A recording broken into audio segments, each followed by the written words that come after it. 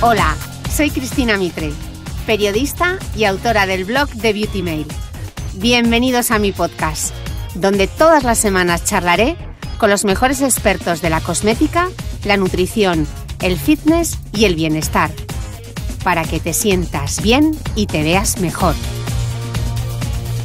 ¿Qué regalar en Navidad? Suele ser una pregunta recurrente. Para que las colas y los recados no terminen con tu ilusión, te propongo regalar aventuras increíbles y emocionantes, y todo a golpe de clic.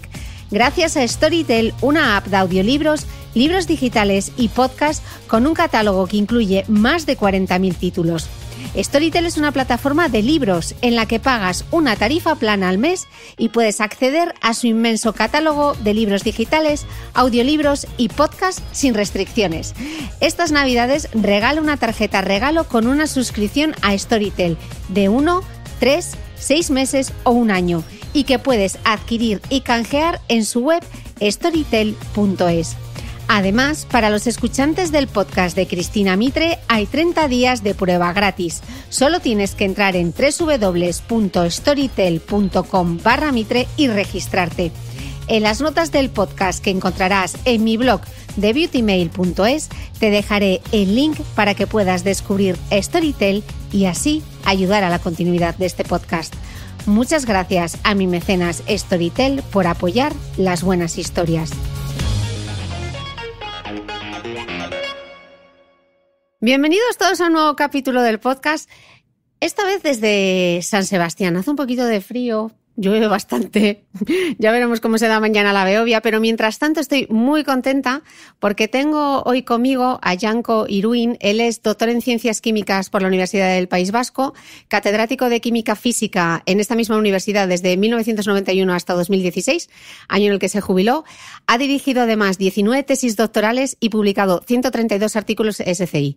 Miembro de la American Chemical Society y de la Real Sociedad Española de Química, es también divulgador científico y os recomiendo que no os perdáis su blog, el blog del, del búho, donde habla de la química cotidiana. Ha dedicado su carrera profesional al estudio y la aplicación de los polímeros. Sí, hoy vamos a hablar de plásticos. Yanko. Hola, buenos días Cristina. Muchas gracias por dejarme estar aquí contigo. Estoy encantado. Siento lo del tiempo, pero yo no lo puedo solucionar. Cachi, yo pensé que ibas a hacer magia. bueno, hoy vamos a hablar. Yo te quiero plantear hoy una pregunta: es si realmente se puede vivir sin plásticos, pero antes de entrar al plástico, yo no quiero dar nada por hecho. Entonces quiero que me expliques qué es un plástico. Eh, bueno, eh, plásticos hay muchos, materiales plásticos hay, hay muchos. Es una familia de diferentes materiales que tienen propiedades muy distintas cuando se comparan entre ellos. ¿no? La característica común es eh, que son, has dicho tú la palabra, no yo, que son polímeros. Polímeros quiere decir que son moléculas muy largas donde una unidad repetitiva se repite cientos o miles de veces y eso es lo que les confiere sus propiedades específicas. Para poner un ejemplo muy sencillo, las bolsas normales de basura o los Tupperware son de polietileno y el polietileno es una molécula muy larga donde se repite muchas veces la unidad de etileno, que es un gas, pero que también se produce, por ejemplo, un gas que sale de las petroquímicas, pero que también se produce, por ejemplo, en la maduración de las frutas. Eh, la palabra plástico en realidad hace referencia a que esos materiales se ponen blanditos o, funden cuando se les aplica temperatura. Aprovechamos esa propiedad para introducirlos dentro de un molde y cuando bajamos la temperatura solidifican otra vez y reproducimos la forma del molde, con lo cual podemos crear objetos de muy variadas formas. ¿Mm? ¿Y por qué eh, el, plástico vivimos tan rodeados de plástico? ¿Cuál, es la historia del plástico? ¿Cuándo llegó el plástico a nuestras vidas? Bueno, los plásticos son materiales eh, recientes. Eh, digamos que podemos cifrar la irrupción mm, importante de los plásticos eh, alrededor de los años 50, después de la Segunda Guerra Mundial. Y si entraron, bueno, y, mm, ¿cuándo empezaron en realidad? Pues cuando los químicos se dieron cuenta que había unas sustancias en la naturaleza, el caucho natural, la celulosa, el almidón, cuyas propiedades les mosqueaban, pero se dieron cuenta que esas propiedades estaban ligadas a cadenas largas. Y entonces a partir de ahí, pues empezaron los químicos a tratar de sintetizarlos en el laboratorio, moléculas largas de ese tipo. Y bueno, luego se fue viendo que tenían propiedades muy particulares y por tanto que tenían acomodo en muy diversas, en muy diversos ámbitos. Y de ahí, por ejemplo, pues que se puedan utilizar desde pinturas a, pues no sé, fibras sintéticas, en cantidad de cosas. Claro, porque es curioso, porque cuando pensamos en el plástico, estamos pensando como en el empaquetado, ¿no? En el, en el packaging de las cosas. Pero yo por lo que he estado viendo es el 42% se usa en empaquetado, un 20%, por ejemplo, en la construcción, e incluso se utiliza en la moda, ¿no? O sea, el, poliéster y la poliamida, tenemos el armario lleno. Mañana que vamos a correr la Beovia, que vamos a ir vestidos de poliéster todos, eso es plástico, ¿no? Es plástico. ¿eh? Es plástico, son materiales que nacen, curiosamente, de un programa de, de investigación básica que empezó la DuPont en los años 20 y encontraron unos materiales, los poliésteres y las poliamidas, que tenían una rara habilidad y es la de poder ser hilados y dar materiales parecidos a la seda natural, que dicho sea de paso es una poliamida. Entonces, visto eso, empezaron a buscar aplicaciones y como consecuencia de ello surgió una poliamida a la que llamaron nylon, que también fue bautizada como seda artificial. Y, empezó, y Dupont empezó a fabricar medias de seda artificial. Y bueno, aquello fue la mundial. En, mayo del, del, 40, cuando se, puso, se pusieron a la venta por primera vez en los grandes almacenes americanos, en prácticamente en cuatro horas habían vendido toda la producción que habían hecho en meses. O sea que cuando decimos que queremos eliminar el plástico de nuestras casas, igual también hay que empezar por el armario. Sí, por el armario, por las ventanas, que, te protegen acústica y térmicamente. El PVC. El PVC o los poliuretanos que aparecen en las, en las ventanas. Las tuberías que tú no las ves, pero que la mayor parte de ellas eh, están hechas también o de PVC o de otros materiales. Muchos sellantes, por ejemplo. Hay cantidad de cosas. Ok, eh, me gustaría que nos explicases, porque si yo cojo una botella o cojo un tupperware o cojo cualquier cosa de plástico, em, en, la parte de abajo, si le damos la vuelta, vienen como unos números y, un, triángulo, que eso se llama el triángulo de Mobius, ¿no? Mm, sí, bueno, proviene de ahí, de un matemático del siglo XIX. Entonces, explícanos un poco qué es ese triángulo y esos números que aparecen, qué es lo que quiere decir. Bueno, eh, eh, ese triángulo es un poco el símbolo universal del reciclado y apareció en un concurso de diseño entre estudiantes americanos con ocasión del del primer día de la Tierra. Eh, realmente son tres flechas que se encadenan entre sí. hay, hay, algunas teorías distintas sobre qué significan las tres, flechas, tres flechas, pero en general se identifican como las tres R's del reciclado. Reducir, reutilizar y reciclar. El número en el interior em, eh, son números que representan a los plásticos más vendidos. No quiere decir que el orden 1, 2, 3, 4 sean el más vendido y después. No, no pero los plásticos más vendidos. Por ejemplo, el 1 es el polietilén tereftalato, que es el plástico de todas las botellas, básicamente. Eh, el 2 es el polietileno, pero de alta densidad, que es un polietileno para aplicaciones un poco más técnicas. El 3 es el PVC, el 4 es el polietileno de baja densidad, que es el habitual en los tupperwares, en las bolsas de supermercado, en las bolsas de basura. El 5 es el polipropileno, que se usa en cantidad de cosas, desde maletas a las redes de los pescadores, a las cuerdas de los pescadores. Eh, hoy en día se hacen hasta incluso vestimentas de polipropileno, por ejemplo, como contra, contra el frío. El 6 es el poliestireno, que va desde el poliespan a los vasitos de, yogur, a cantidad de cosas. Y el 7 es una especie de cajón desastre, donde van muchos materiales, eh, los más conocidos, el policarbonato, los poliuretanos, las poliamidas, los poliésteres. Ese 7 es complicado porque en realidad decir 7 prácticamente no es decir nada. Vale. Eh, yo a veces me, pregunto que todo ese plástico que recogemos en nuestras casas eh, y que llevamos al contenedor, ¿realmente ¿Dónde termina ese plástico? Muy buena pregunta. Eh, bueno, en realidad, poner el plástico en el contenedor amarillo es el inicio de un proceso muy largo. Eh, a ese contenedor van, como he dicho en la primera pregunta, eh, muchos tipos de plástico. Claro, es que hemos visto que hay hasta siete, entonces claro, digo yo, y se recicla todo igual. eso es. Entonces, si, por ejemplo, imaginemos que en un contenedor amarillo tenemos botellas, ¿Vale? Bien, pues esas botellas normales tienen polietileno tereftalato en el cuerpo de la botella y polipropileno en el tapón. Vasitos de yogur de poliestireno y, por ejemplo, pues un envase de detergente convencional que es de polietileno de alta densidad. Si yo cogiera eso solo, por, simplificar, recogido en un contenedor amarillo y me lo llevo a una fábrica de plásticos y les digo, vale, fundirme esto todo junto, meterlo en un molde y hacerme Bueno, un desastre, porque esos cuatro plásticos, a pesar de que hablamos de ellos como plásticos, en fundido no se mezclan entre sí. Y al no fundirse y luego solidificar, pues hay zonas eh, fronteras entre unos y otros, por ahí se rompen todos los objetos y lo que resulta es un desastre. Con lo cual, lo primero que tenemos que hacer si queremos reciclar esos materiales provenientes del contenedor amarillo es separarlos.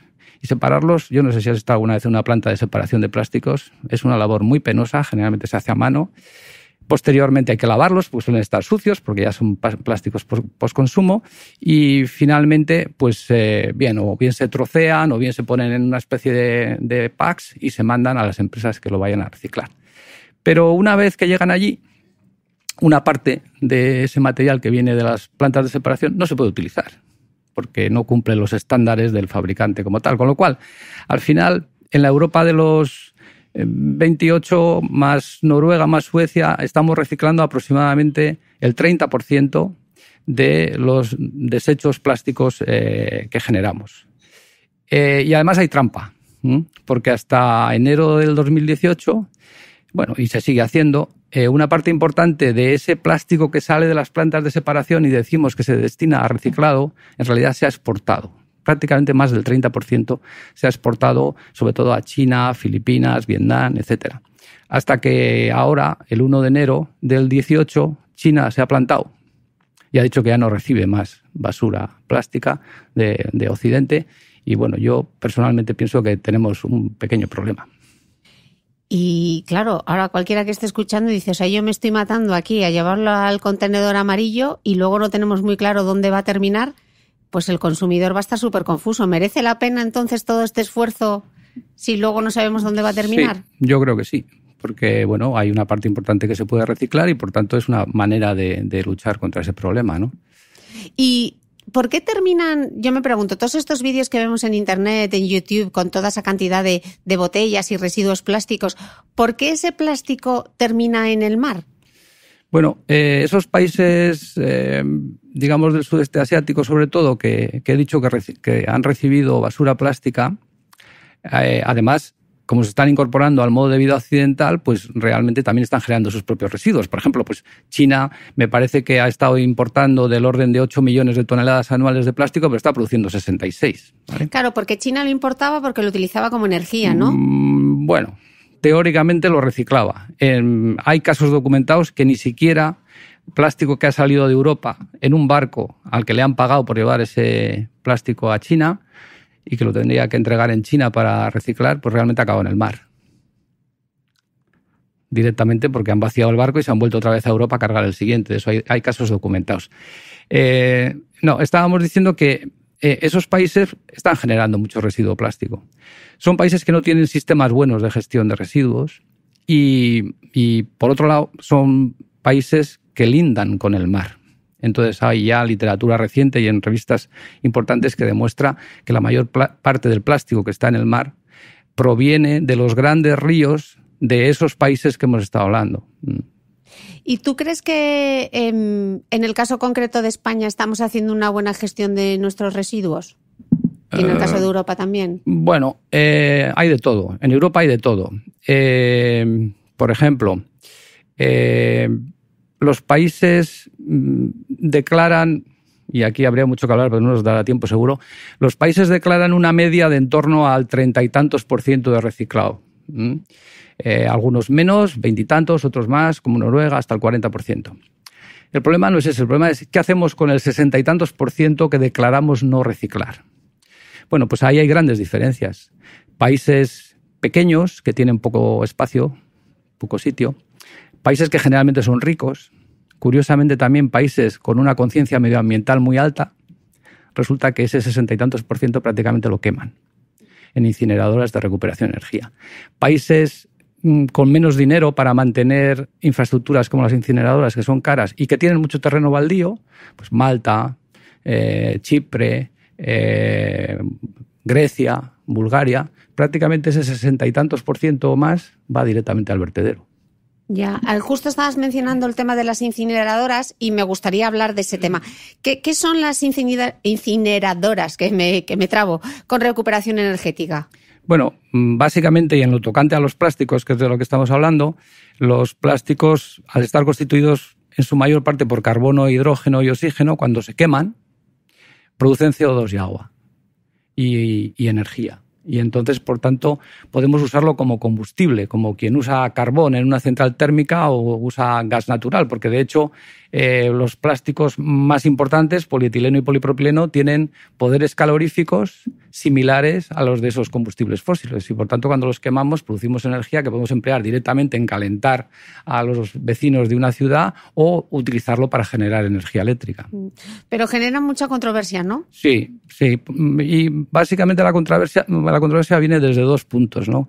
Que, que, las incineradoras sueltan sustancias químicas peligrosas y se habla mucho de las dioxinas, por ejemplo, y después que, claro, como estamos quemando, pues estamos produciendo CO2, ¿no? Eso es lo de los gases efecto invernadero, que, lo decimos mucho, pero yo no sé ni lo que significa. Bueno, es, muy fácil de explicar. Nosotros recibimos la radiación solar, llega a la Tierra, eh, la Tierra la refleja en una parte y cuando está tratando de salir, digamos, otra vez al espacio exterior, pues si tenemos una cubierta de gases eh, encima de la Tierra, esos gases de alguna manera absorben esa radiación y hacen que el conjunto que está debajo pues realmente se, caliente. Es una idea sencilla. Entonces, el CO2 es el gas al que se le atribuye la mayor parte del efecto invernadero del calentamiento global que estamos observando desde hace siglo y medio, básicamente.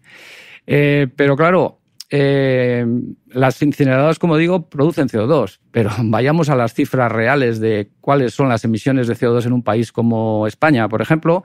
Hay un estudio reciente, eh, un informe reciente del Ministerio de Transición Ecológica, me parece que se llama, y ahí veremos que el CO2 proveniente de los residuos en general, donde estarían incluidas las plantas incineradoras, que hay 12 en España, supone el 4% de las emisiones de CO2 de España. ¿Y quién está en primer lugar? Pues el transporte, la industria, la generación de electricidad, etcétera, etcétera.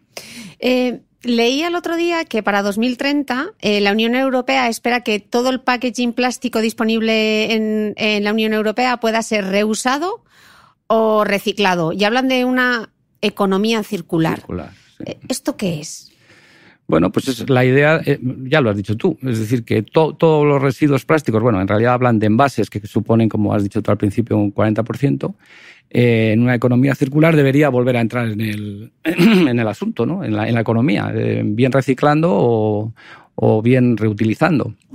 Eh, a mí lo que pasa es que no me salen las cuentas. Yo no, no, soy más que un observador exterior, pero a mí me mosquea que los países más ricos, y repito, que parece que tienen más conciencia medioambiental, están invirtiendo en los últimos años en grandes plantas incineradoras.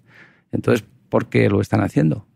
Eh, esos mismos países son miembros de la Comunidad Europea. ¿Cómo la Comunidad Europea dice, dice taxativamente que ni el vertido en vertederos ni la incineración con recuperación energética son objetivos para el año 2030? Que hay que conseguir que todo eso se rebaje sobre la base de eh, reutilizar, separar adecuadamente y reciclar. Bueno, reducir, reutilizar, separar adecuadamente y reciclar. Yo a mí no me salen las cuentas. No sé si llegaré a verlo o no, pero bueno. ¿Y, cuál es tu hipótesis? Mi hipótesis es que, bueno, ellos han planteado ese plan, pero como otros, que yo creo que algunos tenemos en mente, eh, realmente no los van a poder cumplir. Claro, porque además estamos diciendo que el 60, casi el 60% eh, no sé, o sea, nosotros lo reciclamos, pero luego vete a saber qué es dónde termina. Entonces esto para 2030, que yo no lo veo tan lejos, conseguir que todo sea reusado o reciclado, si actualmente un 60% no se hace, yo veo difícil cumplir este objetivo. Yo también. Bueno, es verdad que los números que te he dado del 30 y tanto, 60% es de todos los residuos plásticos. Eh, de ahí el cuarenta y tantos por ciento son envases. El objetivo de la Unión Europea está más bien centrado en los envases y, en plásticos de, de, un único uso, ¿no? que son los que realmente preocupan desde el punto de vista de la contaminación en el medio ambiente, en el mar, etcétera, etcétera. Claro, lo que pasa es que decimos reducir el uso. Bueno, eso, me, lo voy a, posible. me lo voy a te lo voy a plantear luego porque tengo otro, otro tema que me gustaría ver. Lo que, lo que, sí que me gustaría ver ahora, estábamos hablando antes de esos plásticos que terminan en el mar. Otra cosa de, la, de lo que se habla ahora mucho no son de los plásticos, sino de los microplásticos. ¿Qué, ¿Qué, son los microplásticos? Los mismos plásticos que acaban en el mar, de los que acabamos de hablar, simple y llanamente que se van deteriorando por, sobre todo por la acción de la luz ultravioleta, que los degrada químicamente, los hace mucho más frágiles y por tanto, como consecuencia de los movimientos de las olas, del aire, etcétera, poco a poco se van fragmentando y, pues cada vez son más pequeñitos. Y cuando llegan al tamaño de unos pocos milímetros o de las micras, que hay, bueno, la definición de microplástico en cuanto a tamaño es un poco no difícil, pero que está sujeto un poco todavía a debate, pues realmente tenemos un microplástico. Y si todavía ese plástico se hace más pequeño, más pequeño, tendríamos, que también se está empezando a hablar ya, un nanoplástico. Ok. ¿Eh? ¿Y se sabe realmente, porque hemos visto algunas fotos de peces abiertos que se ven como residuos plásticos en las entrañas de los peces, ¿sabemos realmente eh, qué efecto tiene eso en los peces? O sea, ¿se sabe de verdad? Eh, bueno, eh, ¿En el caso de los microplásticos solo o los plásticos en general? Bueno, pues los dos. Ya que, has dicho, pues te vea, pues si, si, me das dos opciones, me vas a contar las dos. No, los plásticos grandes, pues tipo los grandes filmes que se ven por ahí en las fotos y en los vídeos, las redes de pesca, las cuerdas de los barcos, que casi nadie habla de eso, pero se suponen un porcentaje muy, muy importante de la contaminación por plásticos en el mar. Pues claro, eso es lo que pueden hacer es atrapar a los peces. Eh, les impiden la movilidad y a partir de ahí, bueno, pues el pez ya no puede cazar o, y y realmente pues, se puede morir. ¿no? En cuanto a los microplásticos, que hoy sabemos que constituyen la parte importante de la basura plástica que hay en el mar, eh, los peces los atrapan o se los comen porque los confunden con sus presas naturales. Y realmente entran en el tracto gastrointestinal y realmente lo pueden bloquear en algunos casos y por tanto pueden causar la muerte del pez. Pero hay que decir también que, que una gran parte o la mayor parte de esas piezas que los peces ingieren, al final las acaban defecando. Sin que realmente, ahora eso sí, si se ponen morados a, plásticos o se acumulan por alguna razón, pues pueden bloquear y, causarles la muerte. Em, más problemático podría ser el caso de los nanoplásticos, de los que todavía se sabe menos, eh, puesto que por su tamaño podrían atravesar las membranas celulares y entonces eh, quedar ya de alguna manera ¿no? Eh, inmersos en la propia masa corporal del pez sin saber muy bien qué efecto puede causar eso. ¿Y en, y en los humanos? Porque eh, claro, entra en la cadena alimentaria, ¿no? Si se lo come el pez y luego tú te comes el pez. Sí, eh, bueno, en realidad eh, alguna, algunos estudios que se han hecho sobre cuánto microplástico ingerimos vienen a decir que la mayor parte del microplástico que ingerimos proviene del agua que bebemos y de algunos otros alimentos y no precisamente de manera especial del pescado que consumimos. Mm. y, entonces me pregunto, si comemos los peces que tienen estos nanoplásticos y los microplásticos y podemos llegar a, pueden llegar a nosotros, ¿no sería mejor aplicar el principio de precaución y que se prohibiesen tanto microplásticos como nanoplásticos si no sabemos muy bien todavía mm, cuáles son los efectos? Microplásticos, entonces tendrías que prohibir los plásticos. Porque el, microplástico no es más que una degradación de un objeto hecho en plástico o, por ejemplo, de fibras. Entre los microplásticos hay un porcentaje muy importante de fibras, de fibras textiles, que cada vez que nosotros lavamos una prenda en una lavadora o nos quitamos un jersey y quedan las fibras por el aire y se las lleva el viento y acaban en el mar, bueno, pues esas están ahí y esa es una parte importante de lo que llamamos microplástico también. O sea que, ¿qué hacemos? Ya no tenemos vestimenta de fibras. También entre los microplásticos se puede considerar las fibras naturales, como el algodón, que en el fondo tienen una vida muy parecida a las fibras artificiales, pero en fin, si nos centramos solamente en lo que son cosas artificiales o sintéticas, ¿qué hacemos? Las prohibimos del todo, prohibimos todo el plástico eh, que estamos utilizando en este momento en muy diversos ámbitos. ¿eh? Sí, en las prótesis de caderas, por ejemplo. Prótesis de Bueno, yo es que en, las charlas, cuando alguna vez se plantea este asunto de qué hacemos con los plásticos, si los eliminamos por completo, digo, hombre, iros al hospital y pensar en lo que sería un hospital en funcionamiento, un hospital serio, ¿no? Hoy en día, sin los plásticos. Desde, el guante que se pone la enfermera o el médico para vernos, que es de un solo uso y se tira en cuanto pasa al siguiente paciente, cosas muy sencillas, como las jeringas o, los catéteres, ¿no?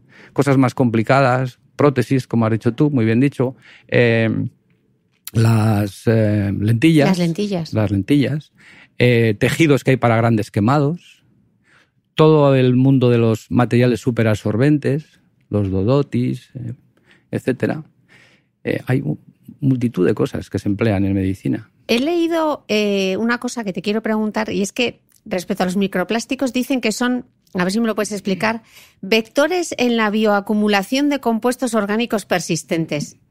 Os lo he tenido que leer porque es que ya me perdí, porque no sé qué significa esto, pero como lo he visto muchas cosas y esto de bioacumulación me suena como a disrupción y cosas así, me gustaría que me lo explicases. Bien, los llamados compuestos orgánicos persistentes son una serie de, sustancias, por ejemplo, como el DDT y todos sus congéneres, eh, los bifenilos eh, policolorados, que se han usado durante muchos años como aislantes en instalaciones de alto voltaje, por ejemplo, los polibromodifeniléteres, que se han usado como retardantes a la llama para evitar incendios eh, a nivel de casa, etc. Todas esas sustancias son, en realidad están prohibidas, algunas desde los años 70, pero la palabra persistente que llevan en su nombre indica que es muy difícil deshacerse de ellos y por eso están en el mar.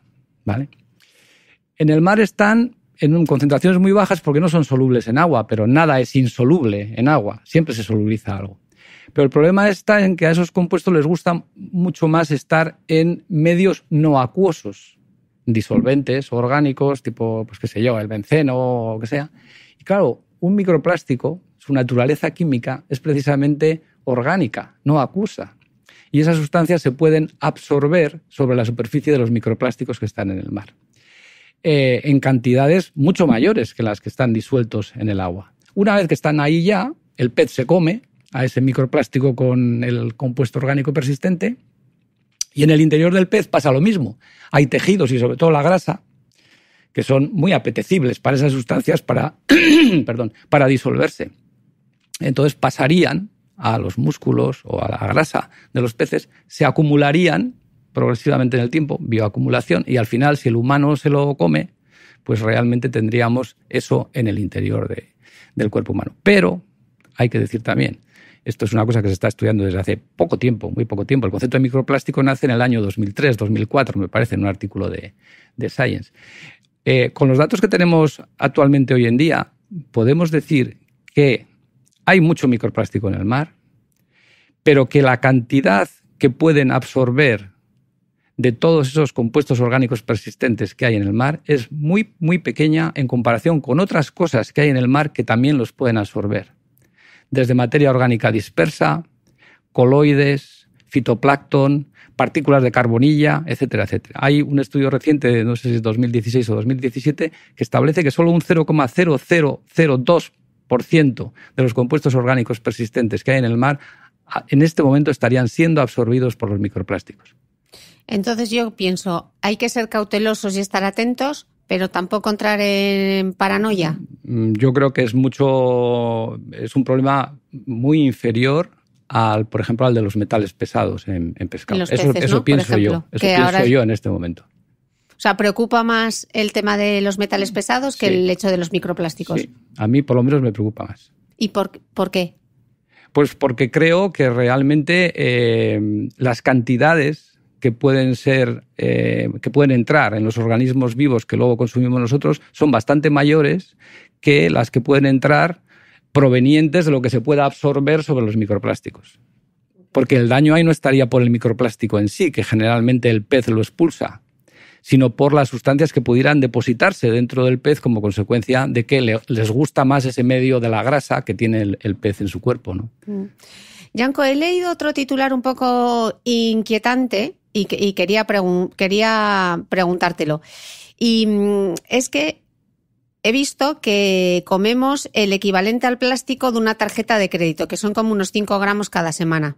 Y este es un titular que he leído en Internet. Sí. ¿Eso es verdad? Sí. El origen de esta noticia es en realidad un informe que el Fondo Mundial de la Naturaleza, el WWF, lo que llamábamos ADENA antes, había encargado o encargó en su momento a unos investigadores de la Universidad Australiana de Newcastle. Eh, los autores, cuando entregaron el informe, que yo lo tengo, eh, dicen que, bueno, que esos datos se publicarían inmediatamente en una revista científica, algo que yo todavía no, he visto.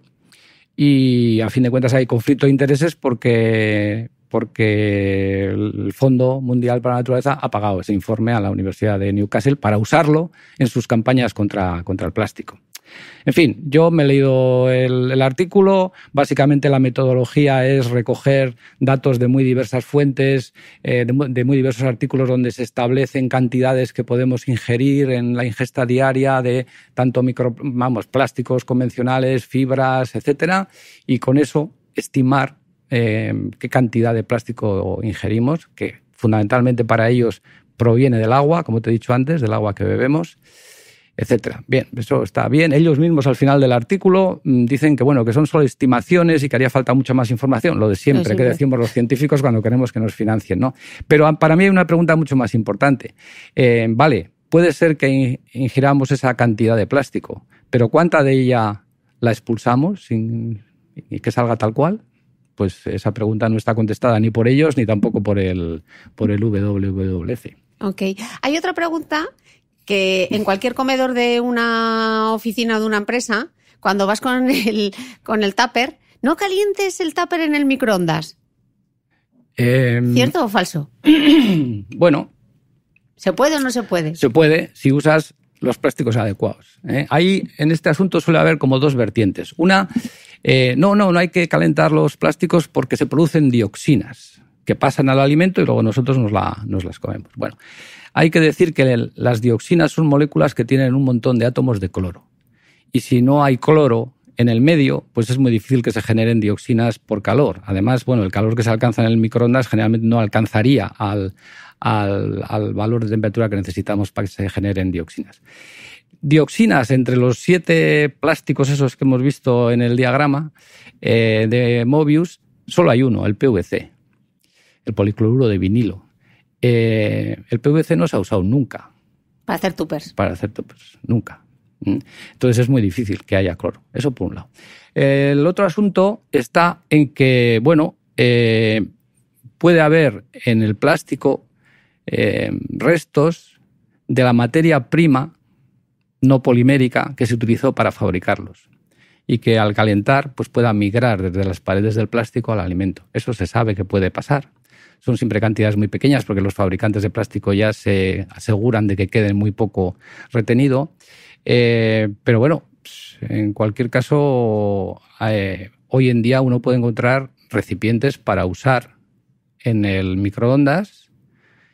existe una legislación europea al respecto que es muy rigurosa. Entonces, bueno, pues yo creo que lo que hay que usar son recipientes adecuados para ser usados en microondas. Y bueno, si al final eres muy neura, pues caliéntalo en, en vidrio, o como suelo decir yo a veces, no uses el microondas, que a fin de cuentas, desde el punto de vista gastronómico, para mí, por lo menos, el microondas es una herramienta con muy poco valor.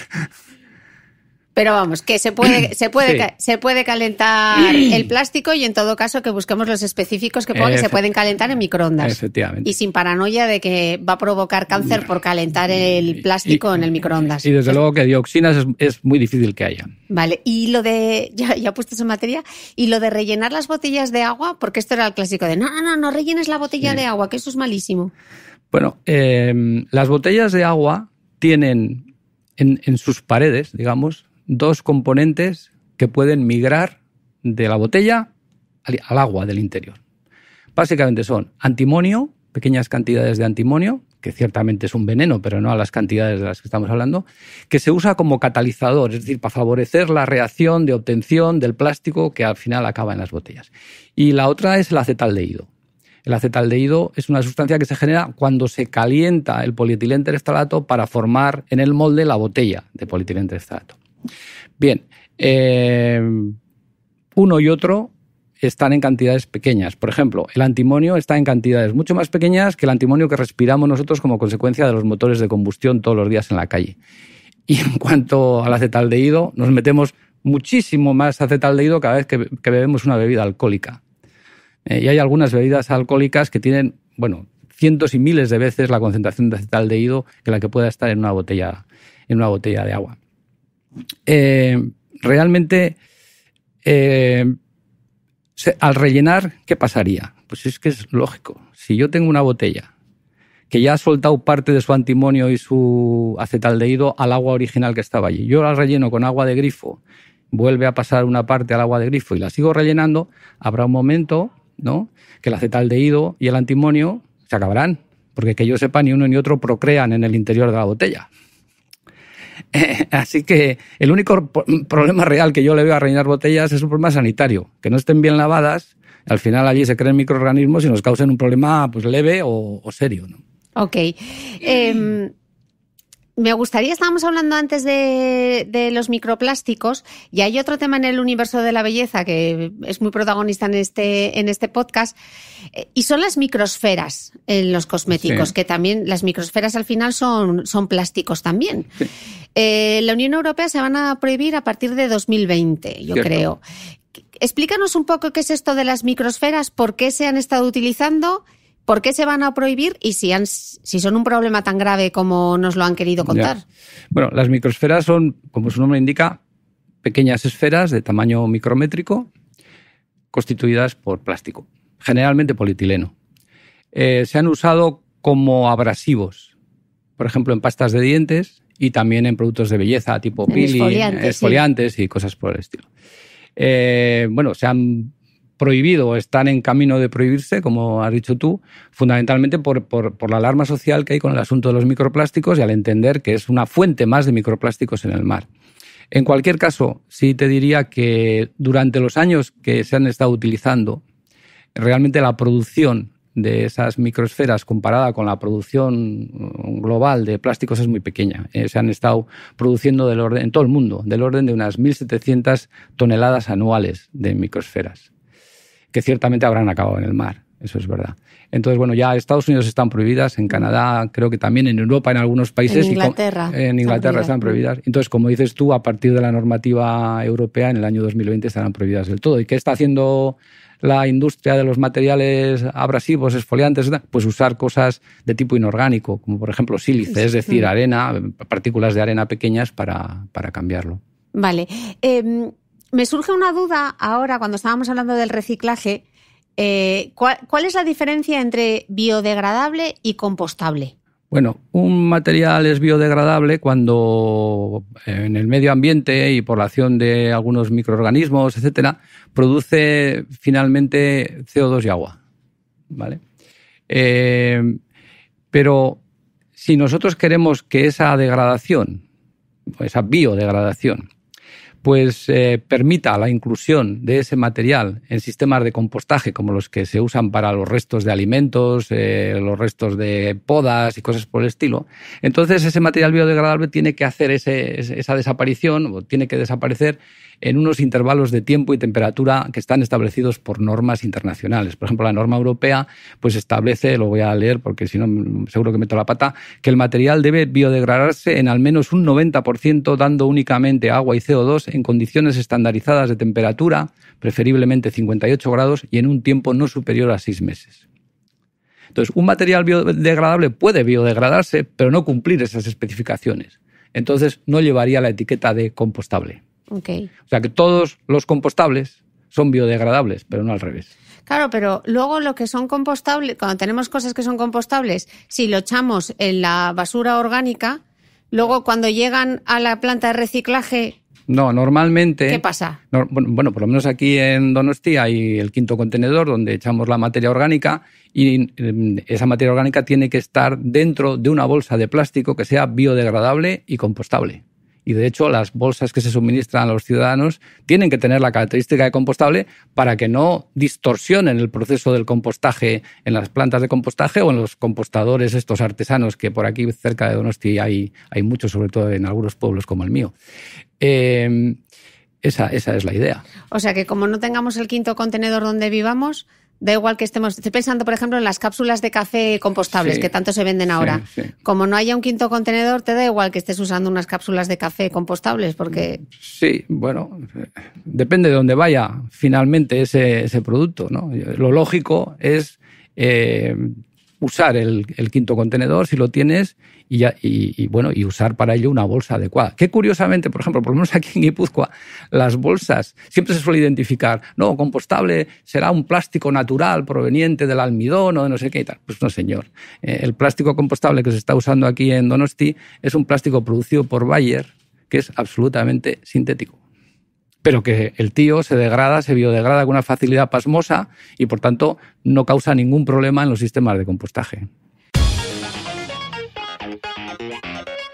Estas navidades, ¿por qué no regalas una buena historia? Como las más de 40.000 que puedes encontrar en Storytel, una app de audiolibros, libros digitales y podcast. En Storytel pagas una tarifa plana al mes y puedes acceder a su inmenso catálogo de libros y podcast sin restricciones. Además, para los escuchantes del podcast de Cristina Mitre, hay 30 días de prueba gratis. Solo tienes que entrar en www.storytel.com barra Mitre y registrarte. En las notas del podcast que encontrarás en mi blog de beautymail.es te dejaré el link para que puedas descubrir Storytel y así ayudar a la continuidad de este podcast. Muchas gracias a mi mecenas Storytel por apoyar las buenas historias.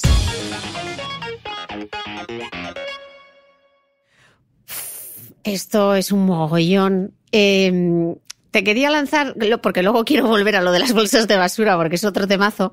Em, quería traer a colación aquí al podcast. Escuché un podcast que está en inglés, que luego lo dejaré en las notas de, este podcast, que ya sabéis que podéis encontrar en mi blog en The Beauty Mail. Eh, un podcast de Throughline, em, que es una reflexión interesante, ¿no?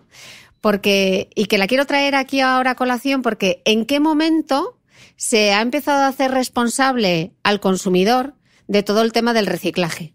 Sea, parece que nosotros somos los culpables de que nos estemos cargando el planeta con nuestro consumo. Y yo lo que quiero lanzar aquí la pregunta, y, con este podcast de Throughline, pues hablaban de una campaña que se llama, eh, una campaña que se hizo en Estados Unidos, que era Keep American Beautiful, que como que la gente había empezado con la polución y que la gente realmente es la responsable y que deberían terminar con ella. Entonces yo lo que me pregunto es, hagamos una reflexión un poco más profunda. ¿No, ¿No debería ser la industria? O sea, nosotros tenemos nuestra parte de responsabilidad a la hora de consumir, pero yo lo que me pregunto, ¿no debería ser la industria la que no pusiese allá afuera tanto plástico para nuestro propio consumo? Bueno, yo no, no, he oído el podcast que mencionas, procuraré hacerlo, pero por, el tono de la pregunta, pues intuyo más o menos por dónde va tu, tu inquietud, ¿no? A mí me parece que es una cosa muy, muy complicada. Eh, los materiales plásticos han entrado con fuerza en nuestra sociedad por alguna razón. Y es fundamentalmente porque por sus propiedades muy dispares, aplicables a muchas aplicaciones, eh, realmente cumplen una misión que no teníamos con otros materiales. Si no, la, era del plástico hubiera terminado después de como una moda o algo por el estilo.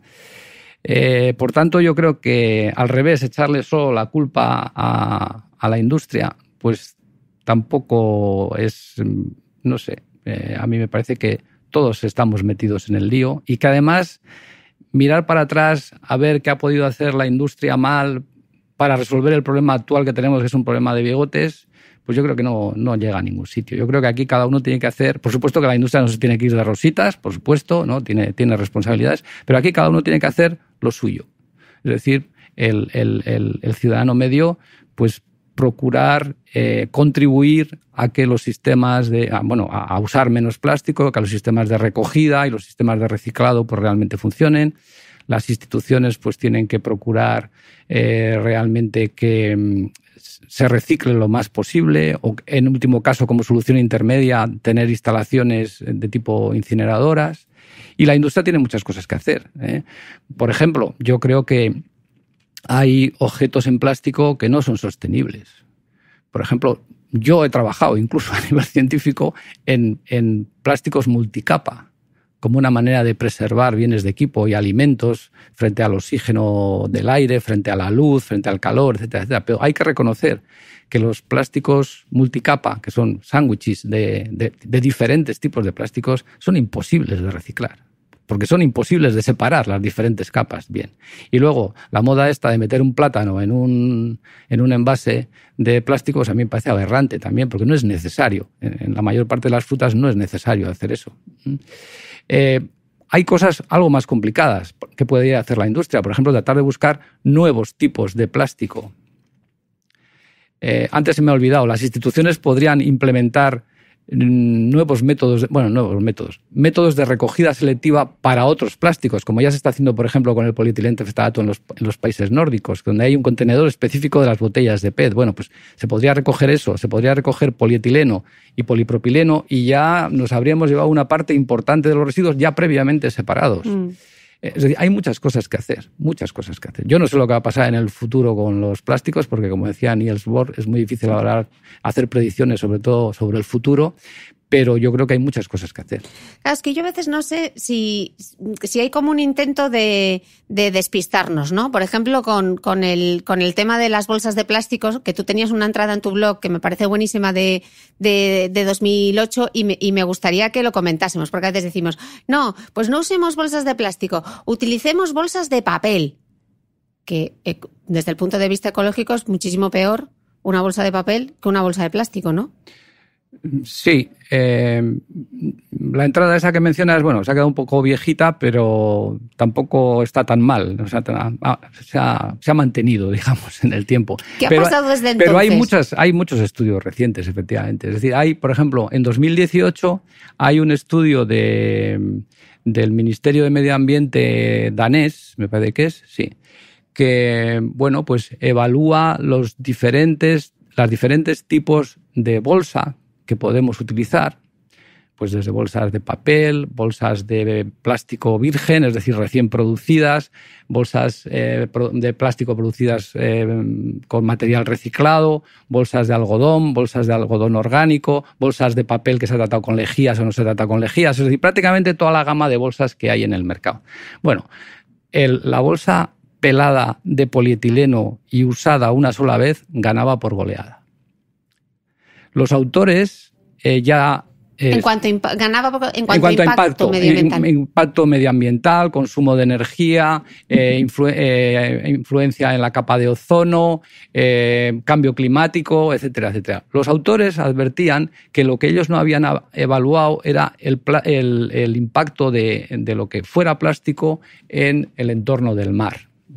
Por tanto, eso podría tener algunas matizaciones. Pero para que te hagas una idea, eh, tendríamos que utilizar del orden de cuarenta y tantas veces una bolsa de papel para compensar con esa sucesiva utilización el efecto nocivo que ha tenido en el medio ambiente a la hora de su producción. Mientras que la bolsa pelada de plástico sería uno, una vez. Con una vez la podríamos tirar a incinerar y, le ganaría al... Y si hablamos del algodón, pues ya hablamos miles de veces. ¿eh? Pero concretamente ellos establecen que para el, algodón convencional tendríamos que usar la bolsa 7.100 veces. Y no voy a decir cuántas el algodón orgánico para que no se me eche nadie encima. Entonces yo lo que pero yo lo que estoy ahora mismo es súper confusa porque, o sea, estamos haciendo todo este esfuerzo, nos están intentando confundir porque es como cuando dicen, no, no uses cepillo de dientes, usa de plástico, usa uno de bambú. Pero claro, ¿es eso realmente más ecológico? Yo no eh. sé si es que hay muchos intereses creados o que realmente no hay una buena información o si estamos jugando al despiste. yo, eh, o sea, vamos a ver, el problema fundamental que tenemos ahora con el plástico es el plástico en el mar. Y ese problema lo tenemos que resolver. El mar no es un vertedero y por tanto, como no es un vertedero, pues nadie tiene que, eh, de alguna manera, influir en que el plástico vaya al mar. Pero ese es el verdadero problema. Otros relacionados con el impacto ecológico de la industria del plástico o, de su incineración, por ejemplo, es muy relativo. Yo, en esa entrada que mencionas tú, yo decía, vamos a ver, un español medio eh, mm, consume del orden de 216 eh, bolsas de basura al año, que son del orden de, no sé si son 3 gramos o algo así, de 3 kilogramos, perdón, de, material plástico. Si ese material plástico, después de ser usado una vez, lo echamos a la incineradora y producimos CO2 y agua, pues producimos una cierta cantidad de CO2. Pero es que un español medio, ¿cuántos litros de combustible quema en su coche al año? Pues un montón de veces más. Entonces, ¿de qué estamos hablando? Estamos, no sé, lo clásico de que los árboles no nos dejan ver el bosque o no quieren que veamos el bosque real, ¿no? Es que eso es lo que yo me planteo. Eh, ¿Quién está jugando el despiste? Porque parece que estamos como maquillando todo un poco para que parezca que estamos haciendo algo, poniendo la responsabilidad, que tenemos responsabilidad, por supuesto, pero parece que toda la responsabilidad recae en el consumidor final y que cuando estás en redes sociales ves unas discusiones en torno a que alguien sale bebiendo una botella de agua y se monta allí la del demonio, cuando el impacto mayor es que alguien coja su coche para ir a la oficina a trabajar y no vaya en metro, por ejemplo. Sí, es así. Yo ya te digo, para mí el, impacto mayor de los plásticos hoy, en día está en el mar y ese es el que tenemos que resolver. Eh, primero, primero, no martirizando a los occidentales, que ya están haciendo bastante de sus deberes. Y segundo, ayudando a los países, digamos, con economías emergentes para que se vayan concienciando de algunas burradas que están haciendo. El otro día me comentaba un compañero que no sé si es en Malasia, eh, pues existe una conciencia de que las calles tienen que estar muy limpias. Pero luego no les importa nada echar los residuos plásticos a los ríos que pasan por esas ciudades. Entonces, resolver ese tipo de problemas. Ah, claro que hay que gastar mucho dinero. Y ahí la industria también tiene que poner eh, su parte y las organizaciones internacionales para que se creen infraestructuras que hagan que la cantidad de plástico que vaya al mar sea cada vez menos. Y nosotros como consumidores finales, ¿cómo podemos hacer para que llegue menos plástico al mar? O sea, ¿qué responsabilidad pues tenemos nosotros ahí? Pues recogerlo adecuadamente. Es decir, por lo menos lo que se recoge en, el contenedor amarillo no está en el medio de... Yo vivo en una casa en el centro de San Sebastián que tengo debajo una tienda de chuches. Y no te cuento cómo está todos los días eh, la parte delante de mi portal, llena de plásticos de solo uso. Eso no se puede permitir. Eso no se puede permitir y sin embargo cada vez es más frecuente. ¿Por qué? Porque no sabemos dónde van a acabar esos plásticos que están en el suelo. Bueno, por mi casa que es en el centro pasa todos los días los barrenderos, los pobres, y se los tienen que llevar, se supone que todo eso está controlado. Pero si eso lo haces en un medio natural, sin nadie que te vigile ni nadie que lo limpie, pues realmente eso puede acabar en ríos y puede acabar finalmente en el mar. Entonces eso es lo que tenemos que luchar prioritariamente para mí. Mm. Y te lanzo ahora la pregunta con la que arrancaba el podcast. ¿Podemos vivir sin plástico? Bueno, hay en Internet, tú que eres mucho más lista que yo en estas cosas, habrás encontrado un montón de organizaciones y de personas que dicen la vida sin plástico y tal. Pero si te fijas, en la mayor parte de los casos lo que tratan de evitar son los plásticos más convencionales, es decir, los envases de un solo uso, los recipientes de las botellas de agua, los recipientes de... Pero claro, esas mismas personas no se dan cuenta que hay, por ejemplo, mucho plástico eh, cada vez más además en los automóviles que conducen. ¿Por qué? Porque como consecuencia de ello se ha rebajado el consumo de combustible eh, por menor peso del coche y eh, también la emisión de CO2. No se dan cuenta como, como probablemente tú sí te habrás dado cuenta que nuestras casas pues están con ventanas que nos aíslan térmica y acústicamente, tenemos pinturas acrílicas que nos las hacen más agradables, hay todo un montón de tuberías, sellantes, etcétera, eh, incluso cosas integrantes de nuestro propio hogar que están hechas en plástico. La agricultura no sería lo que es si no existiera el cultivo bajo plástico y bueno, pues el ámbito de la medicina que hemos hablado antes, pues yo creo que pues igual. Pues igual. Eh, no podemos hablar de plásticos y no hablar de BPA. Y aquí vamos a hablar, vamos a abrir un melón bastante gordo. Espero que estés listo. De, de bisfenol A. Sí. Bueno, ¿qué es? Primero. Primero, lo que hay que decir es que el bisfenol A no es un plástico. ¿Vale? Sino que es una sustancia química normal, pequeñita, no es un plástico, no es un polímero, cosa que en Internet a veces parece que el BPA es un plástico. Eso, eh, lo primero.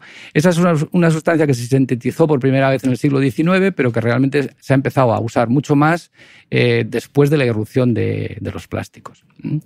Eh, el bisfenol A se usa tiene una producción anual del orden de los 7 millones de toneladas anuales, me parece. El bisfenol A se usa fundamentalmente en la fabricación de dos cosas poliméricas. Una, un plástico, es decir, de esos que se funde y podemos moldear, el policarbonato, y una resina que se llama la resina epoxi, que es el clásico araldit de toda la vida, de que se mezclan dos, dos componentes y se forman ahí unos polímeros y aquello se va poniendo durito. Esos no son termoplásticos porque por mucho que los calientes, tú nunca puedes ir para atrás, como pasa en el caso del policarbonato. Bueno, pues prácticamente el 100% de la producción de bisfenol A en el mundo, quitando cosas como el que se emplea en el papel térmico y algunas cosas de cosmética, prácticamente todo el policarbonato, todo el bisfenol se emplea en la fabricación de policarbonato y resinas epoxi y poco más. ¿El policarbonato para qué se emplea?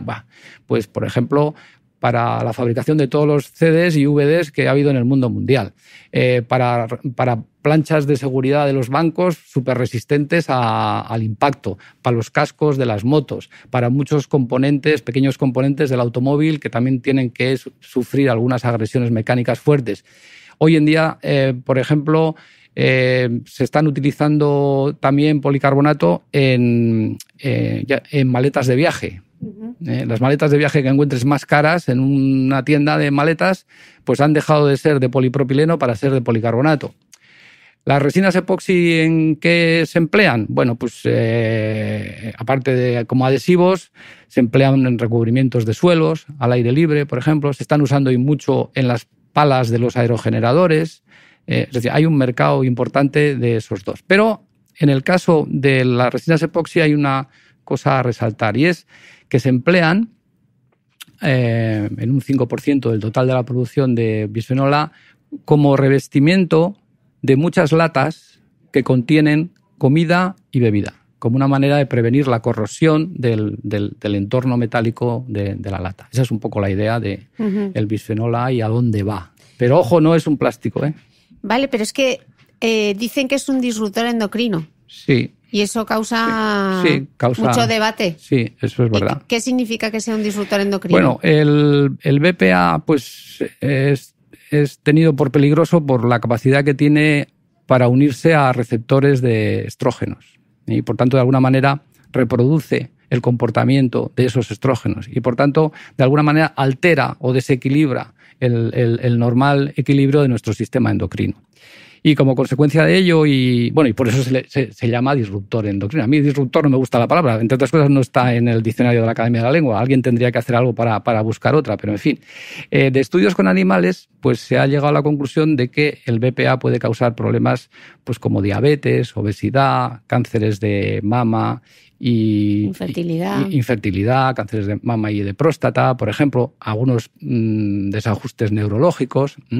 Y es verdad, pues eh, e, existe esa preocupación, a pesar de que sea ciertamente eh, un, el carácter estrogénico del, del, BPA sea, me parece que son del orden de 20 o 25 mil veces inferior al que se suele tomar como referencia, que es el, el, el E2, el estradiol, que es una hormona femenina, esteroide femenina eh, y que la exposición que las agencias eh, que velan por nuestra salud han establecido como qué cantidades estamos eh, a las que estamos expuestos en nuestro día a día son también muy bajas.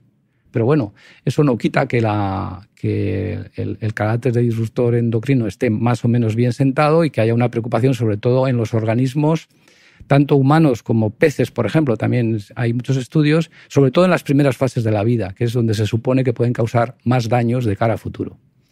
Eh, ¿Y cómo sabemos si un, plástico lleva bisfenol? ¿Cómo sé yo si el, el, bote que estoy utilizando para beber agua o el tupperware este que estoy utilizando en el microondas lleva bisfenol o no? Ya, ya te contestaba antes. Bisfenol solamente hay en dos productos poliméricos. En el policarbonato, que es un plástico, y en la resina epoxi, que no es un plástico. El policarbonato ya no se usa. Por ejemplo, para biberones se dejó de usar hace un montón de, años. Curiosamente, se prohibió en Europa y en Canadá, pero en Estados Unidos no se prohibió. Simplemente se dejó de usar porque los fabricantes que se dieron cuenta del asunto prefirieron dejar de fabricar biberones con BPA, buscar una alternativa que habría que ver si es más segura o no que el propio bisfenol A, pero bueno, ahí incluso encontraron un nicho de negocio correspondiente. ¿no? Eh, ¿De qué estábamos hablando? Ah, por tanto, ningún otro plástico lleva bisfenol A, por mucho que se diga. Es decir, tu Tupperware de polietileno no puede llevar bisfenol A. La botella de polietileno tereftalato mm, tampoco puede llevar bisfenol A porque no ha formado parte de su génesis mediante síntesis química en el laboratorio. Son, las únicas sustancias. Y entonces este titular que, oímos de, que quemeamos plástico, referido al BPA, esto. Bueno, eh, ¿Eso es posible? ¿Es posible mear no, plástico? No, no, no, no. Si, si, fuera posible mear plástico, bueno, pues los urólogos andarían locos, digo yo, ¿no? Eso proviene de un, de un artículo mm, publicado por el grupo del profesor Olea, un catedrático de medicina de la Universidad de Granada, que es un conocido experto en, en disruptores endocrinos desde hace mucho tiempo, ¿no? Estudiaron una treintena de botellas de agua vendidas en el entorno de Granada, algunas de plástico, pero otras también de vidrio, eh, tratando de buscar la actividad hormonal eh, o endocrino que tenía esa agua embotellada. Entonces encontraron que todas, todas las aguas embotelladas, incluida la de vidrio, tenían una cierta actividad endocrino. pero que no era en cantidades relativamente pequeñas. Sin embargo, la nota de prensa de la Universidad de Granada pues realmente mm, establecía que ese, ese artículo pues había, había descubierto ¿no? que beber agua pues tenía muchos problemas de salud y aducían toda serie de males para un bebedor, digamos, compulsivo del, agua de Granada. Eh, con ocasión de ese artículo, pues bueno, eso se reprodujo mucho en los medios de comunicación y en, en, una revista que se llama Discovery Salud apareció una entrevista con el propio profesor Olea y es verdad que literalmente a una pregunta del periodista le contestó, hemos observado que efectivamente los niños y las embarazadas orinan plástico. Bueno, yo creo que, que Olea sabe que eso no es verdad podría haber hecho referencia a que en la orina de los niños y las embarazadas de Granada pues hay restos de bisfenol A o de cualquier otro producto con, actividad eh, endocrino, ¿no? Eh, de paso, el bisfenol A, como te acabo de decir, no se emplea para producir botellas, ni en las botellas de vidrio ni en las botellas de plástico, con lo cual, pues eh, no, sé de qué estaba hablando. A mí me parece muy irresponsable este tipo de, de, declaraciones porque realmente no hacen más que crear alarma social sobre algo que en realidad no es cierto. Los niños y las embarazadas de Granada no mean plástico. Estaríamos, bueno, los urólogos, como te he dicho, de Granada estarían locos, los pobres.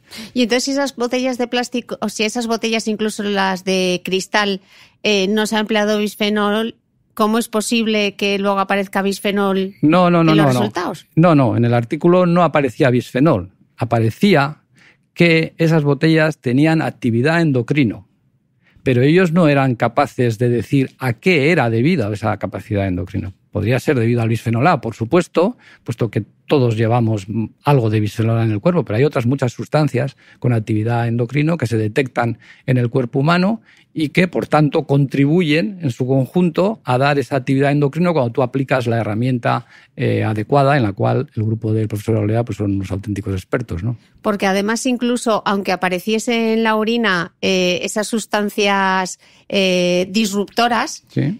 Ni siquiera sería bisfenol, ¿no? Sería otra cosa que no es bisfenol.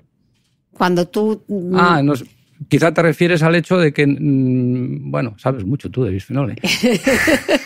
porque realmente eso no es bisfenol. No, no es bisfenol. Porque...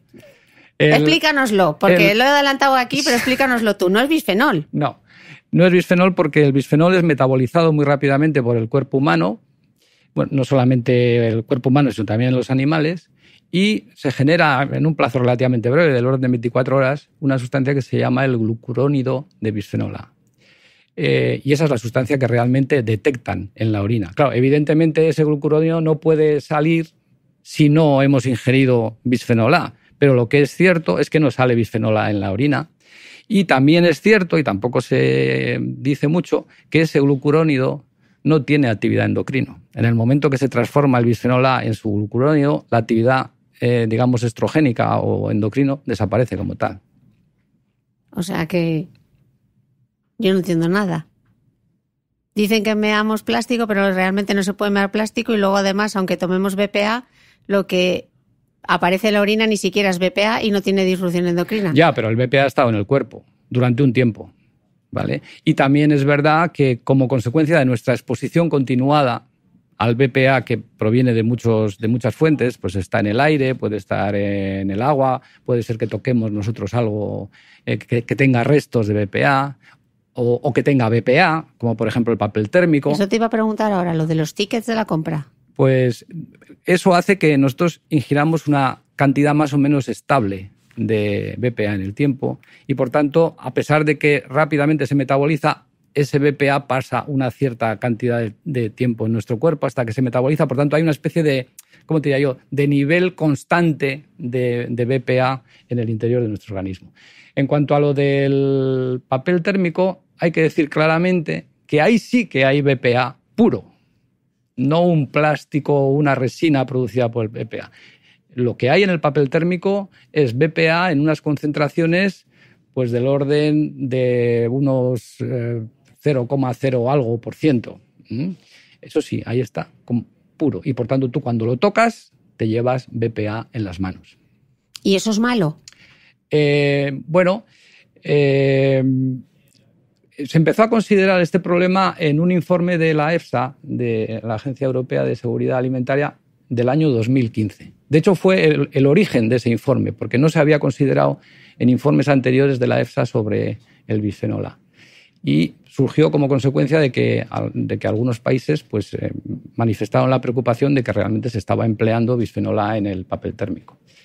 Eh, de hecho, al mismo tiempo que salió ese informe, Francia intentó eh, que se reconociera, que se rebajara la cantidad de bisfenol A en el papel térmico y presentó una propuesta adecuada a la ECHA. ¿Mm? La ECHA es la Agencia Europea de Sustancias y Mezclas Químicas. Entonces, bueno, ante ese lío de que había varios frentes en torno al papel térmico, las dos agencias trataron de ponerse de acuerdo sobre la propuesta francesa y llegaron a la conclusión, un poco en contra de los franceses, de que el público en general Mm, no estaba expuesto a niveles importantes por el manejo de las facturas térmicas, pero sin embargo sí podían estar expuestos los trabajadores, los cajeros normales, ¿no? Y proponían rebajar esa cantidad al 0,02%, me parece que es, en el papel, y eso va a entrar en vigor en enero del año que viene.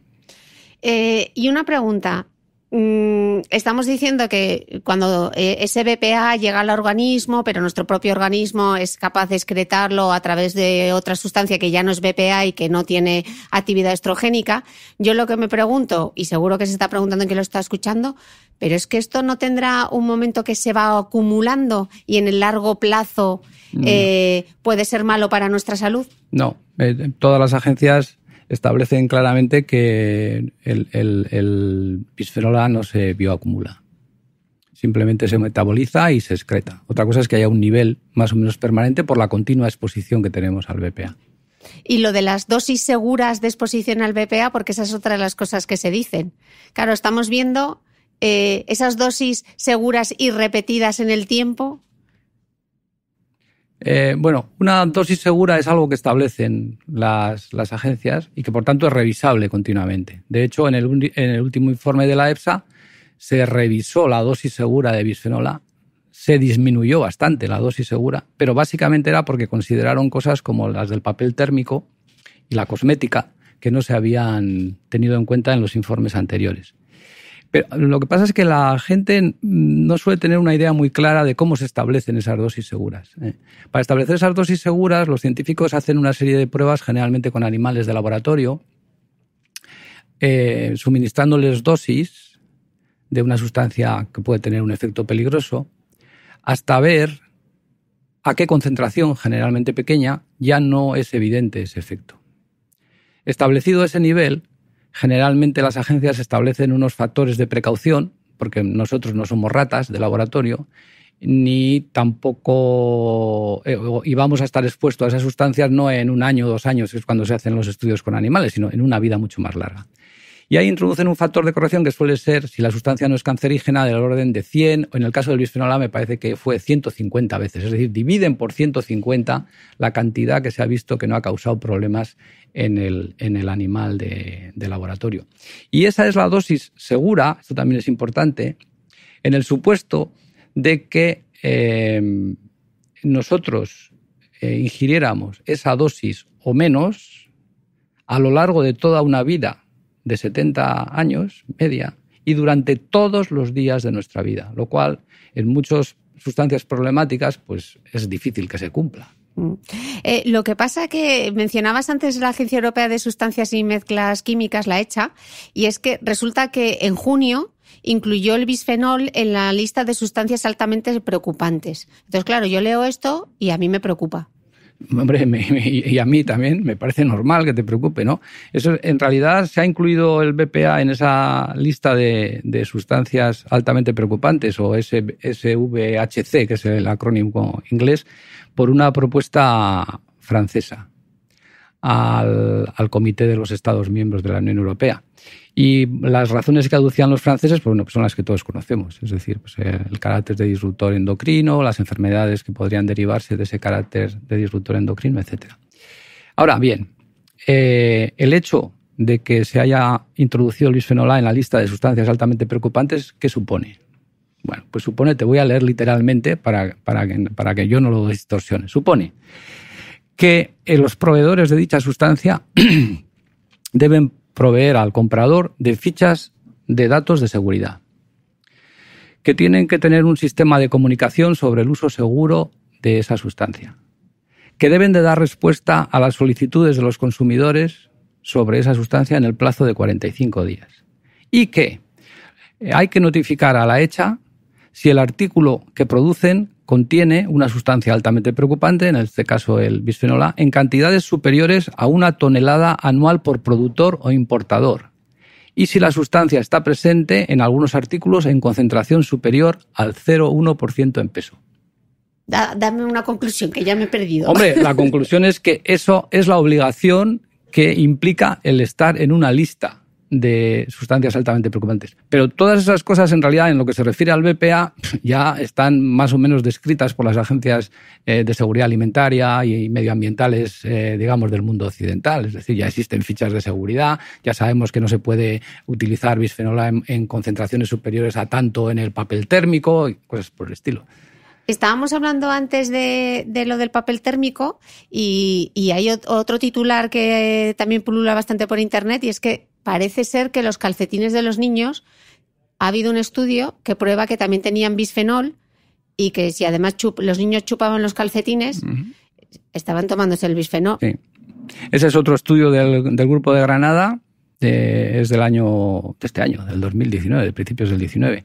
Y entonces estudiaron, no sé, una treintena o más de, pares de calcetines que habían comprado en algunas tiendas de baratillo y en otras de tiendas más importantes, de franquicias importantes. Y básicamente en ese artículo trataban de buscar si en esos calcetines había dos cosas, bisfenol A y parabenos. Y como estamos hablando del bisfenol A, pues ciertamente eh, había bisfenol prácticamente en todos, un noventa y tantos por ciento. Eh, aunque en cantidades superiores a las permitidas, digamos, por la Unión Europea en juguetes para niños solamente en las de los calcetines más baratos. Ellos no dicen cuál es la, procedencia. Bueno, dicen cuál es el país de fabricación de esos calcetines, pero ellos mismos reconocen en el artículo que no saben de dónde proviene el material con el que se han fabricado esos calcetines. Eh, bueno, eso, eso es así. Pero hay una cosa que no, que no se ha dicho en esa noticia, ¿no? Y es que el bisfenol A es soluble en agua bastante soluble en agua, por lo menos lo suficientemente soluble en agua para que si hubieran lavado los calcetines antes de hacer las pruebas, que ellos dicen que no los habían lavado, realmente no hubieran encontrado bisfenol A en nada. Así que bueno, puede que haya bisfenol A en calcetines baratos, así que recomendación, pues cuando le compres un par de calcetines a tu niño, lo primero que tienes que hacer es lavarlo. Pero que no supone mayor problema si lavas el calcetín. No, porque en realidad, eh, bueno, yo no sé cuánto se chupan los. Yo no tengo hijos, así que no sé cuánto se chupan los niños los calcetines, pero en cualquier caso, eh, no creo que lleguen a lo que puedan eh, chupar o lamer un mordedor o donde sí se controlan esas cantidades de bisfenol adecuadamente. O sea que yo saco la conclusión que es otro titular fuera de contexto, ¿no? Para mí, ¿no? para mí sí. Eh, me gustaría sacar aquí otro tema, porque estábamos hablando antes de eh, esas dosis bajas, esas dosis bajas de, exposición que se consideran seguras, etcétera. Y hay un programa que es el Clarity BPA, que pondré luego eh, en las notas del podcast, que este es un programa que ha hecho la FDA en Estados Unidos, porque como al final parece que este tema del BPA sigue estando ahí un poco de controversia, me gustaría que comentásemos estas últimas conclusiones del Clarity BPA, mm, porque a mí me dejan un poco sin respuesta, ¿no? Porque parece que, que, los toxicólogos no se ponen eh, de acuerdo con la gente que estudia todo el tema de la disrupción endocrina. Entonces, cuéntanos qué es este programa y por qué estamos todavía confusos con el tema del BPA. Desde hace bastantes años efectivamente ha habido una polémica en torno al, al bisfenol A, también alguna otra sustancia, en el asunto de las eh, dosis a bajas concentraciones. Es decir, en la toxicología clásica, eh, como ya te he explicado, lo que se hace es ir administrando al animal de laboratorio una sustancia en diferentes concentraciones hasta ver que generalmente va bajando el efecto a medida que bajamos la, concentración y de esa manera se establecen las dosis seguras de las que hablábamos. Pero desde hace algunos años hay una serie de investigadores, sobre todo endocrinólogos, que dicen que a bajas concentraciones puede darse un efecto no monotónico, es decir, que en lugar de ir bajando el efecto con la concentración, en un determinado momento eso se invierte y se hace un diagrama en forma de más o menos de U, con lo cual a concentraciones muy bajas el efecto podría ser similar a concentraciones muy altas. Bueno, esa es la polémica. Entonces, como la polémica lleva años y además las posturas son irreconciliables, este programa del que hablas, el Clarity, trataba de resolver eso. Eh, en diversas agencias gubernamentales americanas pues proporcionaron tejidos de un tipo especial de ratones eh, que se habían expuesto a diferentes dosis de bisfenola y bueno, pues se suponía que iban a llegar a un acuerdo. Bueno, pues no han llegado.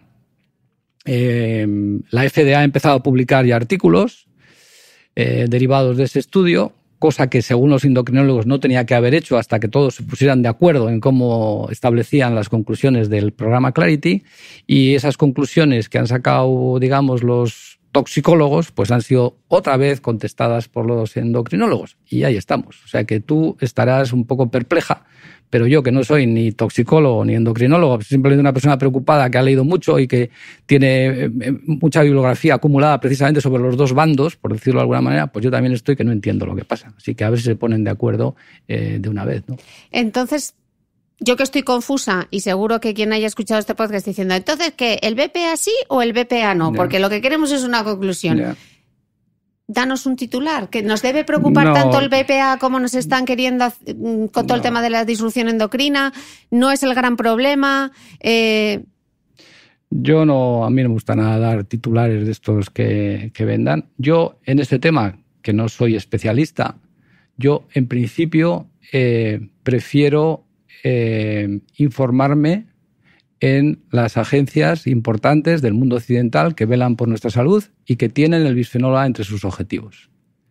Por ejemplo, yo soy un europeo, tengo una agencia de seguridad alimentaria que ha emitido ya no sé si cuatro o cinco informes sobre el bisfenol A. El último es cierto que ha rebajado las cifras basándose en el asunto del papel térmico y la cosmética, pero dice claramente al final del informe que a los niveles de exposición que estamos los europeos, el bisfenol A no es preocupante, incluso en los niños más pequeños e incluso en los niños antes de nacer. Esa conclusión está y cualquiera no tiene más que coger. Hombre, ya sé que es un poco incordio meterse en un informe de la EFSA que tendrá 200, ya no me acuerdo, 200 o 300 páginas, ¿no? Y leérselo, pero eso es así. Y de hecho la EFSA tiene previsto para el 2020 un nuevo informe que puede que revise esas cifras porque consulta toda la bibliografía que se produce. Bien, yo prefiero fiarme de esos científicos que se dedican a eso. Y nada más. No, mientras esos me digan que yo no tengo que tomar especiales precauciones con el bisfenol A, pues yo no me pienso preocupar. Clarísimo. Me quedaba una pregunta que no te he lanzado sobre el BPA y con esta ya voy a terminar. Y como hablamos mucho de cosmética, lo hemos mencionado antes, si sabemos, porque claro, hemos estado hablando de cómo metabolizamos el BPA cuando lo ingerimos, pero cuando aplicamos cosméticos que contienen BPA, ¿hay absorción sistémica de BPA? ¿Hemos sabido medir? ¿Hay una dosis segura? Eh, bueno, como probablemente sabrás, la piel es una, es una protección importante. ¿no? no hay muchos estudios sobre, sobre eso. Eh, hay un artículo, me parece que es de 2018, que se trata de abordar ese problema in vitro, es decir, cogiendo eh, eh, muestras de piel humana a unos voluntarios, ya no me acuerdo de dónde se la cogían, y, exponer in vitro a esa piel a diferentes concentraciones eh, de bisfenol A para ver un poco cómo penetra el bisfenol A. Bien, yo no sé cuánto representativo es ese estudio para una piel normal en una mano normal, ¿no? que está tocando un papel térmico o que se está aplicando algo de cosmética que tiene bisfenol A. Pero la conclusión de ellos es que lo que llega al interior del cuerpo humano, es decir, que ya podría irse hacia zonas del cuerpo humano, es del orden del 4%. ¿Vale? Es decir, por tanto, la, la piel es una barrera importante que se queda casi con el 96%. Por tanto, la yo creo que la ingestión de BPA a través de la piel pues es eh, limitada. Es verdad que si yo tuviera un familiar trabajando de cajera o cajero ocho horas al día, yo ya desde hace algún tiempo le hubiera dicho que use guantes a la hora de, sacar los, los tickets térmicos, ¿no? Como medida de precaución, sin más, sabiendo que la piel realmente no es el vehículo a través del cual vamos a poder absorber mucho BPA. Hay una cosa relacionada con, estos modos de ingestión del BPA que hay que decir también. En los ensayos con animales, a los animales se les da de beber mm, cosas con BPA o se les inyecta directamente eh, disoluciones de BPA. Bueno, en el segundo caso no es nuestro caso. Claro. Eh, me gustaría que bueno, me quedaría hablar de los talatos contigo, pero yo creo que esto me lo voy a dejar para el segundo podcast que vende el año que viene a la Beovia. Y entonces los talatos, lo que ha pasado con la bolsa de basura, eh, en qué momento está el programa del Clarity, lo vamos a hacer en una segunda parte. Pero como conclusión, teniendo aquí a alguien que se ha dedicado tanto a la investigación, ahora que muchas veces nos llegan todos esos titulares que nos hacen un poco vivir en, constante alarma, ¿no? ¿Qué consejo darías tú eh, a toda la gente que navega por Internet, eh, utiliza aplicaciones móviles para, para ver qué llevan las cosas, vive en constante inquietud por si nos, no sé, nos están contaminando o nos están envenenando? Lánzales, lánzales un mensaje. Nada, lo de keep calm, ¿no? Eh, mantente tranquilo y, procura buscar información lo más contrastada posible. Punto. Bueno, pues ya sabéis, hemos dejado un montón de fuentes ahí para que, para que podáis consultarlas. Tenéis además el blog de Yanko, que ya sabéis, el blog del búho. Os dejaré todas las notas del podcast en mi blog de beautymail.es para que podáis consultarlas. Yanko, un placer. Yo creo que no nos queda ninguna duda sobre el plástico. El tema del polímero ya lo tenemos, vamos. Con una soltura vamos a hablar de polímeros. Y muchísimas gracias por dedicarme este tiempo, a mí y a, mí, y a los escuchantes del podcast. Gracias. Muchas gracias. Y a vosotros, gracias de nuevo y nos escuchamos el próximo domingo. Para despedir el episodio de esta semana, Storytel os invita a escuchar aquí un fragmento de La ridícula idea de no volver a verte, de Rosa Montero, un libro que ya hemos recomendado en episodios anteriores de este podcast. Muchas gracias a mi mecenas Storytel por apoyar las buenas historias.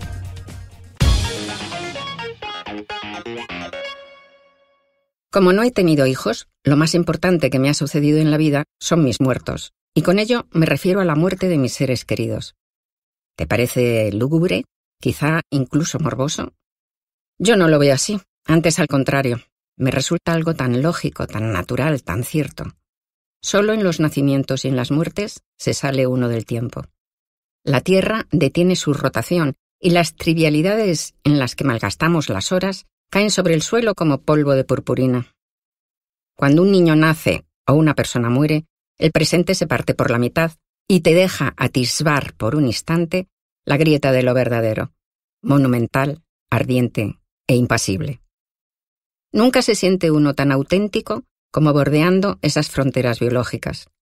Tienes una clara conciencia de estar viviendo algo muy grande, No olvides que todas las notas de este capítulo están en mi blog de beautymail.es. Además, si no quieres perderte ningún capítulo del podcast de Cristina Mitre, suscríbete a thebeautymail.es y a cualquiera de las aplicaciones en las que puedes escuchar mi podcast, como Spreaker, Apple Podcast, Spotify, Evox y YouTube. Solo tienes que buscar el podcast de Cristina Mitre y darle a suscribir. Y un último favor, si entras en iTunes y me dejas un comentario y además me regalas unas estrellas, ayudas a que este podcast tenga cada vez más visibilidad y pueda seguir creciendo. Te espero el próximo domingo con una nueva entrega del podcast de Cristina Mitre.